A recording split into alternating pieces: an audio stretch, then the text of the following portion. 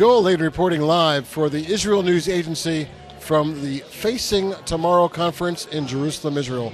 With me is Mr. Aryeh Green, the director of Media Central. Aryeh, thank you for being with us. It's a pleasure. Glad to be here.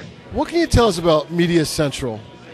Well, in one sentence, Media Central is an organization based in Jerusalem which provides services to all the foreign press who are either visiting or based in Israel. And this is something which, in fact, Israel, the government, and other non governmental organizations have actually never done. We provide information, we criticize the media for when they uh, maybe are less accurate than they might be, but providing services to help them develop a more nuanced understanding of the reality which is Israel and our history and the conflict and the society, something that we've never really done, and, and that's what we do. So you're providing a, a public relations image solution for the state of Israel?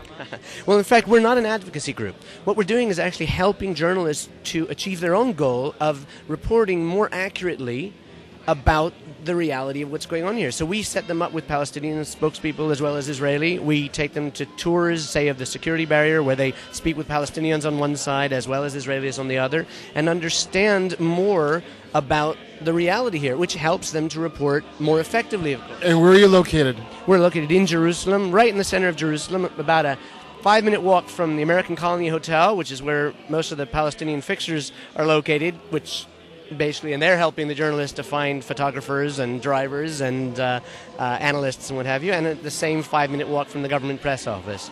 What are your impressions of the Facing Tomorrow conference?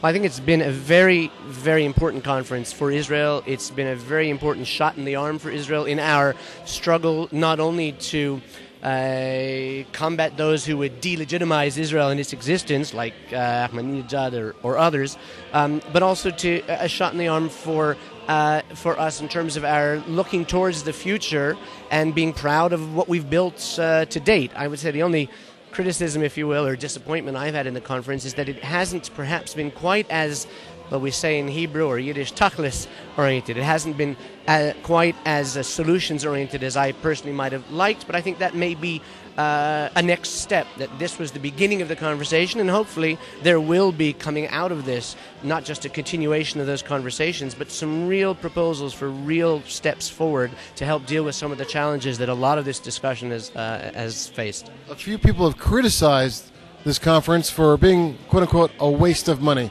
What's your response? Well, first of all, I don't think getting world leaders and people who are involved in helping to make the world a better place, which of course is a, a, a very strong Jewish tradition, together to discuss the challenges facing the world today, the Jewish world, the Israeli people, and the world as a whole. I don't think that is or could be a waste of money. And I think that actually the discussions that have gone on here have been very productive.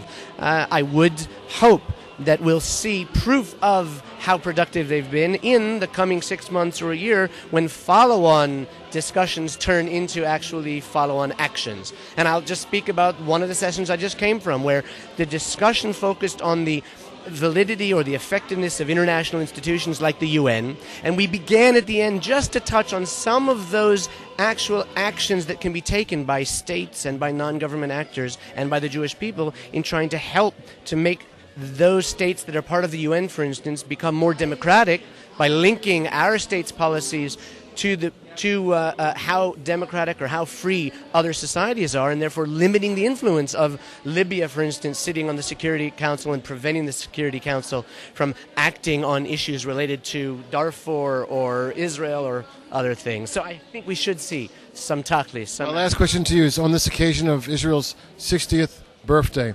What is your message the Jewish people?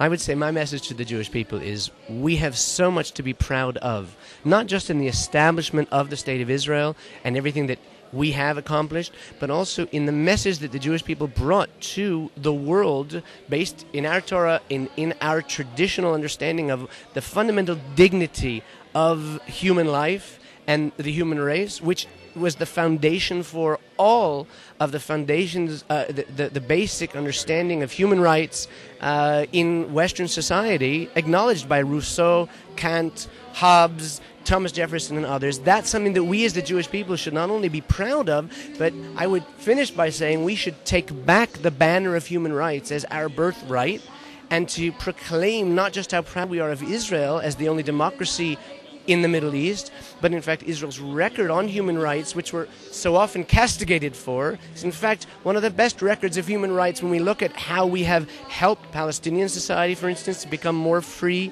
to respect the issue of the rights to, uh, of women or a free press or freedom of religion, and also our understanding of the importance of this issue from a Jewish perspective can help us to push the free world in our own countries to demand those kind of rights around the world, whether it's in China or Burma or the Sudan.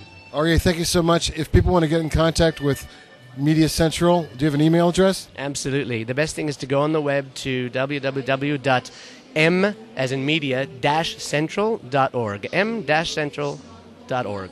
Aryeh, thank you. Thanks a lot, Joe.